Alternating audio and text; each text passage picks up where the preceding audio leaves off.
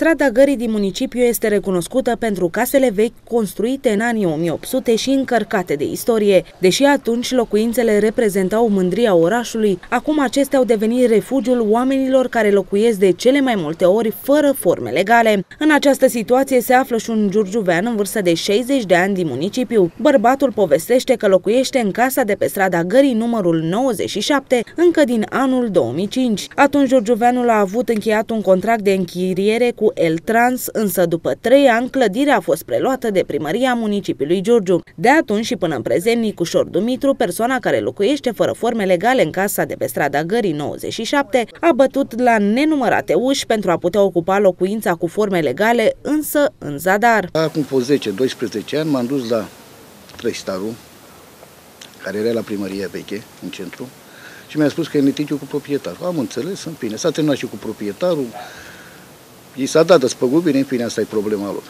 Mai m-am dus în audiență ultimul timp acum, că asta e mai interesant, la domnul primar Barbu, în audiență 2014 în februarie. Și încă o dată tot același an, iunie-iulie. Și mi-a spus că stau liniștit, că mi se face contract. Această casă, o perioadă, n-am mai fost în patrimoniul Consiliului Local. Oamenii au făcut demersul acum și mi-a trimis pe fel de cereri că nu se poate, că e casa mea exploatată, că e veche. Păi înseamnă că orice casa după strada Gării, care e înainte de anii 33-40, nu e consolidată, nu e nimic. Și nu solicit decât să mi se facă un contract de închiriere, sunt cu handicap, am de unde să-mi plătesc chiria, am investit atâți bani în această casă. Când m-am mutat, n-a avut geamuri, n-a avut apă curentă, n-a avut lumină, sobe de încălzit și astea. Și de 20 de ani când stau în ea, am investit și eu niște bani. Și nu știu recit altceva, nu cer altceva decât să mi se facă un contract de închiriere ca să fiu și eu legal.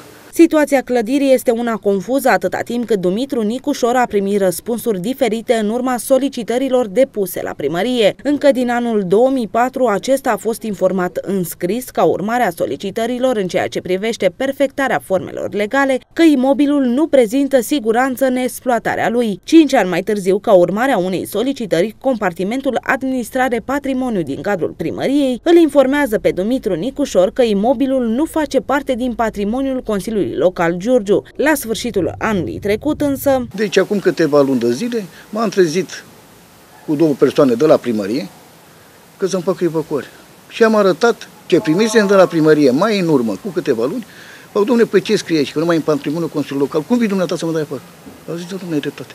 Și pe urmă m-am dus la primar și am explicat care e situația că să-mi facă evacuarea, pe ce să-mi facă? Când casa aceasta nu mai figura la ei în patrimoniu, cum scrie în acte, semnată de Având în vedere acest caz, TV Giurgiu a depus o solicitare cu privire la situația imobilului din strada Gării numărul 97. Au fost solicitate informații despre perioada în care imobilul a aparținut patrimoniului Consiliului Local, precum și motivul din cauza căruia acesta nu a mai aparținut. Două săptămâni mai târziu, administrația locală a răspuns solicitării noastre, însă fără a preciza informații cu privire la situația situația menționată sau dacă imobilul se mai află sau nu în patrimoniul Consiliului Local. Reprezentanții municipalității informează din nou în scris că în urma unei expertize imobilul este nesigur, iar reparații nu s-au mai efectuat încă din anul 1972. Acest lucru însă este contrazis de Dumitru Nicușor, care spune că a efectuat și efectuează în prezent lucrări de consolidare și modernizare pe cheltuiala proprie. Mai mult de atât, Giurgiuveanul spune că nicio persoană din cadrul primării primăriei nu a efectuat în ultimii 15 ani vreo expertiză asupra imobilului. Situația este confuză atâta timp cât Consiliul Local refuză să încheie un contract de închiriere pe motiv că imobilul nu prezintă siguranță în exploatarea lui. În același timp, aceeași instituție informează în scris că imobilul nu aparține Consiliului Local, însă Direcția de Patrimoniu din cadrul instituției îl înștiințează în scris pe Dumitru Nicușor că